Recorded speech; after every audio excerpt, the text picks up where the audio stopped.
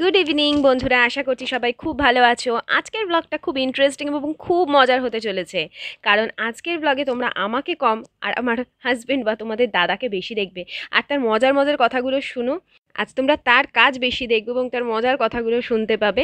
তো দেখতে থাকো ব্লগটা আজকে বললাম যে আমায় বলতে পারতে, আমি রান্নাটা করে দিতাম। বলেনি আর কি করব। একটু বন্ধুদের সঙ্গে গল্প করে আসলাম। অনেক দিন বেরোই না। করোনা টাইমে অন্যকে জ্ঞান দিয়ে আসছে সেফটি ভাবে থাকো। আর ভ্যাকসিনটা নেওয়ার জন্য সবাইকে অনুরোধ করলাম। আমার মতন একদমই আলু ছাড়াতে পারি না। আমার একদম ছাল থাকে। আলুতে। দেখো ছাল রেখে দিয়েছে। এইটাই তো ভাইরাস এরা মানে কি বলব? দু একটা কাজে একটু সাহায্য করে তো। কি ভাবে? কি যে নিজেদেরকে ভাবে?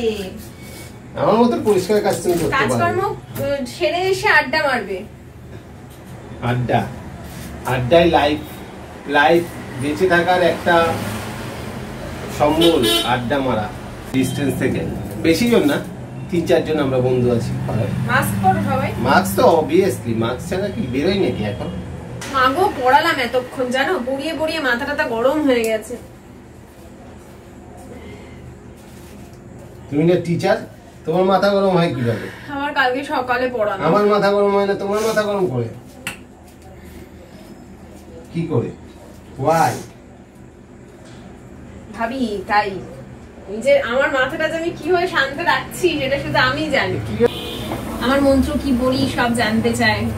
কিছু কিছু জিনিস আছে যেগুলো রুলের বাইরে। তো সেগুলো সবকিছু দেওয়া যায় না। দিদি দিতে পারছে না মানে বুঝব নিশ্চয়ই কোনো কারণ আছে। না মানে এমন কোনো জিনিস নেই যে আমি শিখব তোমাদের শেখাতে পারব না। এমন কোনো জিনিস নেই। ঠিক আছে? আমার মনে এরকম কিছু নেই যে আমি ইউজ করছি, ওদের বলে দেবো, ওরা শিখে যাবে। আমি জানি, আমি যদি বেশি, আমি তোমাদের, আমি যদি কাউকে কিছু দিই, আমি তার থেকে অনেক বেশি পাবো। এই মেন্টালিটি আমার আছে। কি, তাই তো? এই টেস্টটা আসবে, এই যে মিক্সিং এই যে মিক্সিং করছি, এটার উপরই টেস্ট যত ভালোভাবে আপনি মাখাতে পারবেন চিকেনটাকে তত টেস্ট ফুট ফুটকে নিতে হবে নিকলে এটা এত বেশি কথা বলছেন আজকাল ক্যামেরার সামনে একটু হ্যাঁ আমার নিজে বলছে হ্যাঁ বলতে নাকি স্মার্ট হয়ে যাচ্ছি বলতে নাকি ভালো লাগছে বলতে ভালো লাগছে স্মার্ট হয়ে গেছি মাগো মা পারি না আর লজ্জা টজ্জা নেই আগে এক সময় বলতো এসব করো না এসব করো না এবার দিদিকে আবার বাজিয়ে দেবো। আমি আমি সব ভিডিও বানাবো এবার। এডিটের ই করতে পারো? এডিট আপনি করবেন আপনাকে রাখব আমি। খালি আমাকে কর্মচারী বানানোর চেষ্টা সব বিষয়েতে। আগে যখন বলতাম আমি চাকরি করি বলে আমার অফিসে বসো। আমি নাকি বসবো ছেলেদের অফিসে গিয়ে। চলো ম্যারিনেশন হয়ে গেছে। একদম এক্সিলেন্ট মাখিয়ে দিয়েছি দেখেন। যা ভালো হবে সব এইটার উপর নির্ভর করছে মাংসটা। এক্সিলেন্ট হবে আমি জানি কোনো অসুবিধা নেই। অ্যাটাক করে দিয়েছে। এত বাজে কথা বলে বলে আমার সঙ্গে এইসব হয়। তেলটা চোখে অ্যাটাক করে দিয়েছে জানি না কেন কীভাবে। আলু অনেকক্ষণই ভাত এই আমি এটা শেয়ার করেছি। আগে শেয়ার করেছে। এসব আমরা যখন ফুটবল খেলতাম তখন এরকম হ্যাঁ। প্লাস্টিকে ভরে রেখে দিতাম। আইস প্যাক কিনতে লাগে না। কারও চোট টোট লাগলে আসলে তখন আলু ভাজতে ভাজতে হঠাৎ করেই খুব সামান্যই তেলটা ছিটে এসেছে ডাইরেক্ট আর এমন জায়গায় ছিটে এসেছে যে জ্বালাটা ওই জায়গাটা বেশি করবে। না হলে খুব বেশি কিছু হয়নি, এমনি নর্মাল ঠিকই ছিল, ওই আইস প্যাকটা এখন দিচ্ছি চোখে। তারপর ঠিক হয়ে গেছে, কোনো অসুবিধা তেমন কিছু হয়নি। বাবা লোকনাথ তো আছেন, তিনিই সব কিছু রক্ষা করেন। তেমন কিছু হওয়ার থাকলেও হয় না, সবই বাবার কৃপা। আর এখন আমরা দুজনে যা যা জামা কাপড় বিকেলের সমস্ত আনা হয়েছিল, আমার তো বিকেল থেকে ক্লাস নেওয়ার ছিল, তো সেই জন্য আমি বিকেলে কোনো কাজ করতে পারিনি। এখন জামা কাপড়গুলো ভাজ করছি আর ও আমার হাতে হাতে অনেক হেল্প করছে। যেদিন ভালো থাকে মুড সেদিনও খুব অনেক কাজে হেল্প করে। কত মজার মজার কথা বলছে তো দেখছোই। এইভাবে কাজ করলে কি হয় না? বেশ মনে হয় কাজগুলো ইজিলি হয়েও যাচ্ছে আর মজার ছলে হয়ে যাচ্ছে। মন খারাপ হওয়ার কোনো জায়গাই থাকে না, তাই না? তো খুব ভালো লাগছিল। সন্ধেটা খুব ভালোভাবেই কেটেছে।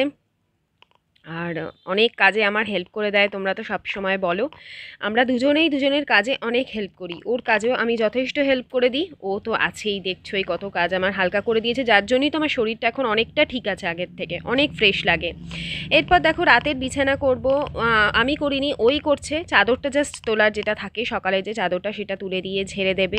কারণ ওই যে আমার চোখে লেগেছে তো, ও এটা নিয়ে একটু চিন্তা করছে। ও একটু এইসব ব্যাপার নিয়ে বেশি ভাবতে থাকে। তো তেমন কিছুই হয়নি, কোনো দাগও পড়েনি। দাগ হালকা, একদম চোখের নিচে হালকা একটা দাগ পড়েছে, তেমন কিছু না। এই যে দেখো।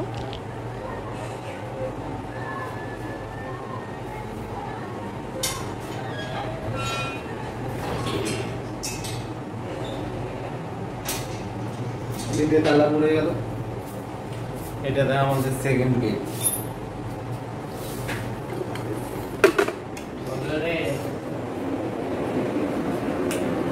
কালকে বাইরের পর্দা চেঞ্জ হবে। হলুদ অ্যান্ড হলুদ ইয়েলো ইয়েলো ম্যাচ ব্লু বেডশিটও ইয়েলো আছে প্রায়।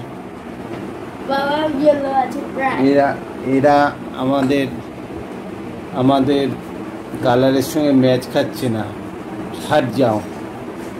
তুম লোক आ नहीं सकते हम लोग के ग्रुप में এই দেখো আমার ম্যাচ করছি তাই তো ও থোড়া ইয়েলো আছে মানে অল্প ইয়েলো আছে তাহলে আমাদের গ্রুপে আছে তুমি ঠিক আছে হ্যাঁ সবাই আজকে ইয়েলো করে রাখবো सब আমাদের येलो अभी गिर जा रहा था हम लोग का अच्छा वाला स्टैंड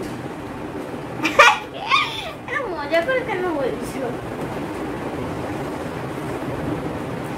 আমার মতন বলো hi friends I hope you I hope you to remember this smart machine of co- a machine is a manual thing uh, which makes our work easier computer is a very useful machine it needs electricity to work it is also called an electronic device আমার ভাই বোনদেরকে খাবার দিচ্ছে বাবার জন্য বাচ্চা বাবার আর এই দেখো না, এই দেখো আমাদের এই দেখো আমাদের ফিশেস আমি যখন রান্না করছিলাম বাবা ছেলের এই মজার সিনগুলো আমি আর কাটলাম না।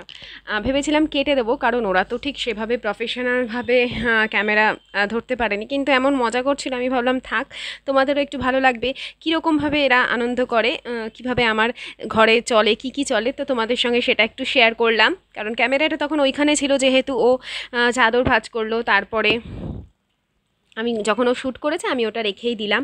আর এখানে দেখো রান্নাঘরে এদিকে আমার রান্না হচ্ছে, সাথে সাথে যা যা বাসনপত্র থাকে সেগুলো তো আমি ধুতেই থাকি। তাহলে কি হয়, একসঙ্গে আমার একদম অনেক বাসন পড়ে যায় না। আমার যখন অনেক বাসন দেখি বেসিনে ভরে গেছে না, তখন আমার খুব টেনশন হয়ে যায় যে এতগুলো বাসন মাজতে হবে।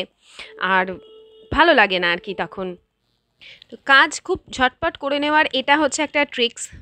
যাতে মানে কাজ হতে হতেই তুমি চারদিকটা গুছিয়ে নাও বা যে বাসন কটা বেরোচ্ছে সেগুলো ধুয়ে নাও যদি হাতের কাছে কল থাকে অবশ্যই। সব সময় তো হাতের কাছে কল থাকে না, যেমন আমার একটা সময় ছিল না। তো তখন তো অনেক বাসন একসঙ্গে ধুতেই হয়, বারে বারে তো আর নিয়ে যাওয়া যায় না এক জায়গা থেকে আর এক জায়গায়। ওদিকে রান্না হচ্ছে এখন রান্না কমপ্লিট হয়নি, আমরা সিনেমা দেখছি। সেটাও নামটা বলা যাবে না মনে হয়। মনে হয়, আমি শিওর নই। আর তোমরা অনেকে বলছো পুরনো পুরনো লাগছে আমার পর্দাটা। কিন্তু অনেকেই প্রশংসা করেছ। হ্যাঁ এটা ঠিক পিঙ্ক কালারেরটার কাছে হয়তো এটা কিছু না তাই না? হ্যাঁ, কিন্তু সামনে পুরনো লাগছে না গো ব্রাইট যথেষ্ট। আলুটা কম বলে তো ঘরে। হ্যাঁ এই দিকে যদি একটা আলো থাকতো না আমরা এইদিকে একটা পরে আলো লাগিয়ে নেব তাহলে ক্যামেরার ইয়েটাও ভালো আসে হ্যাঁ। থাকলে আমাদের যে মুখটা অন্ধকার আসছে দেখছ তো? কিন্তু দেখো আলোটা এই দিকে আছে তো এবার কেমন লাগছে বলবে হ্যাঁ? ভালো লাগছে তো? বাসন্তী কালার। না এটাকে বাসন্তী কালার বলে না? আচ্ছা টেবিলের দামটা আমি বলব বলব করে হচ্ছে না ও বলবে টেবিলের মাপ আর দাম। মাপটা আছে তিন ফুট বাই দু ফুট। এটা ঘাস লম্বায় বলে লেন্থে আছে ফুট আর চওড়া আছে দাম হচ্ছে বারোশো টাকা তাই তো? আর ঘাস বলে ঠিক আছে? এটা এটা কিন্তু প্লাইও না আর কাঠও না খুব মজবুত নয় তবে ভারী আছে। ভারী আছে। খারাপ বলব না তবে লং লাস্টিং না। না জল না পড়লে অনেক দিন লাস্টিং জল টল না পড়লে অনেকদিন লাস্টিং করবে। চেয়ারটা আমাদের দামি দু হাজার বাইশশো টাকা মতন চেয়েছিল। দু হাজারে দিয়েছে ঠিক আছে? আমাদের আর আমরা বলেছিলাম যদি ষোলোশো টাকাও করে আমরা দুটো চেয়ার নিতাম কিন্তু করল না। এটা পুরো rod cast iron cast iron বলে হ্যাঁ। কাস্ট আয়রনের তো ওরা এখন একটু ওই ঘরে রিল্যাক্স করছে। আমি এখানে বেশ কিছু জিনিস গুছিয়ে নিচ্ছি এই ঘরে পর্দা টর্দাগুলো এখনও চেঞ্জ করা হয়নি। এই যে প্যাকেটের মধ্যে সব কিছু আছে, সেগুলো একটু ধীরে সুস্থে করব, এই প্ল্যান আছে। যেহেতু তোমাদেরকে দেখানোর ছিল যে পর্দাটা কেমন হয়েছে, সেই জন্যই আমি ওই ঘরে আগে পর্দাগুলো টাঙিয়ে নিয়েছি। আর এখানে ছেলের সঙ্গে গল্প করতে করতে বিছানার যা যা আছে সমস্ত গুছিয়ে নিচ্ছি, যাতে বিছানাটা ক্লিয়ার হয়ে যায়, পরিষ্কার হয়ে যায়। সকালবেলা আবার ঘুম থেকে উঠে যাতে মনে হয় না, ঘরদোরগুলো গোছানো আছে। কিন্তু আবার সকালে উঠে কিন্তু আমার এলোমেলো হয়ে যাবে। আর এই ট্রাইপডটা আমার তোমরা দেখতে চেয়েছিলে, দেখো এটা কীরকমভাবে কতটুকু হাইট এই এই হচ্ছে লাস্ট হাইট হয়, ঠিক আছে? এই পর্যন্তই লাস্ট কিন্তু এটা ওপেন হয় আর এইভাবে কাজ করতে হয়। এটা এর থেকে আর বড় হয় না, এটা মিডল ট্রাইপড ছোট ট্রাইপড থেকে যেটা মাঝারি আর কি, মাঝারি আকারের যে ট্রাইপড এটা বা ছোটও করা যায়, একদম সবগুলোকে ছোট ছোট করে নিই এটাকে ছোট হিসেবেও কিন্তু হাতে ধরেও করা যায়। তো এই হচ্ছে, এই ট্রাইপডটাও তোমাদের দেখিয়ে দিলাম যদি কারোর কাজে লাগে। আর এই যে সবাই মিলে কাজ করছে, থালা বাসনগুলো এখন নিয়ে যাচ্ছে, আর এই দেখো আমার চিকেন রেডি হয়ে গেছে। চিকেন রান্না করে একেবারে রেখে দিয়েছি। আর আমাদের কিন্তু এখন ডিনার কমপ্লিট হয়ে গেছে। এই যে আম খাচ্ছে ছেলেকে খাইয়ে দিচ্ছে, যেহেতু খাওয়া হয়ে গেছে, হাতটা ধোয়া হয়ে গেছে, ওর বাবা বলেছে, আর আর তুমি হাত লাগিও না। তো ওর বাবা ওই জন্য খাইয়ে দিচ্ছে। আর এখন তো যতদিন হিমসাগর আছে, আমি ততদিনই আম খাই। তারপরে আর আমার আম খাওয়ার ইচ্ছা সত্যি বলতে চলে যায়। আমার হিমসাগর ছাড়া আম একদম কোনোটাই ভালো লাগে না। তো যাই হোক, আজকের ব্লগটা তোমাদের কাছে একটু অন্যরকম মনে হতে পারে। শুধু ইভিনিং টু নাইট রুটিন আমি কীভাবে কাটাই সেটাই তোমাদের সঙ্গে শেয়ার করলাম এবং রাতের যে আমার কিচেন ক্লিনিং থাকে সেটাও তোমাদের সাথে শেয়ার করব। অ্যাজ ইউজুয়াল গ্যাসটা পরিষ্কার করব। আজকে সাবান দিয়ে মানে ভিম জেল দিয়ে এই কারণেই পরিষ্কার করছি, কারণ আমি আজকে দুপুরবেলা পরিষ্কার করতে পারিনি। জাস্ট মুছে রেখেছিলাম, কিন্তু ভিম লিকুইড দিয়ে গ্যাসটা মাজা হয়নি, যেটা এভরিডে আমায় করতেই হয়।